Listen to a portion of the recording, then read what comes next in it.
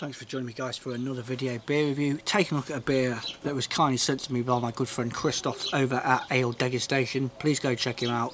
It's from the Allendale Brewery, and it is a bottle of their Wagtail English Bitter 3.8% ABV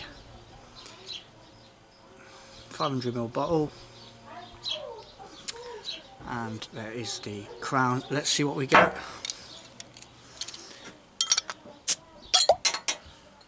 Plenty of smoke. Chimney.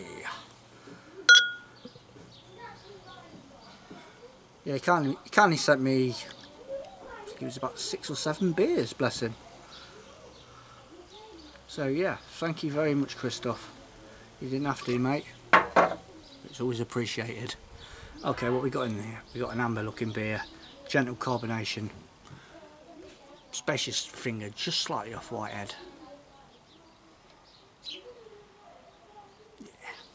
Classic. I love it. I love this sort of style of beer.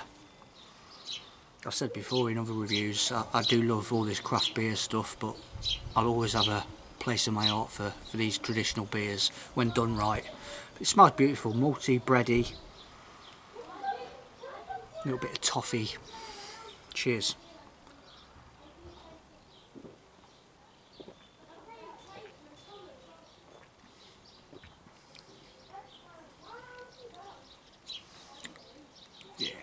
Done, done well.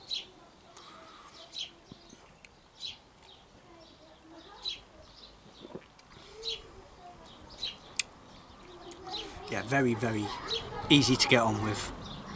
Um, the mouthfeel, you know, alright, it's only 3.8% ABV, so it's, it's a chug jobber. But the mouthfeel for me, like, like having a shandy or a radler, it's just easy to get on with, not back, no complaints. Um, yeah, nice brown bread, toffee, good maltiness to it.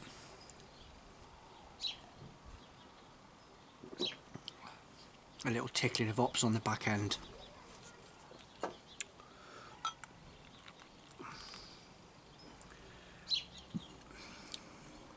With beer. So we've got hops, we've got Target, Fuggles and Goldings, Malt, Pale Ale, Amber and Dark Cara. I think I've had beers before from these guys. Great Taste Award 2014. Yeah, that's decent enough.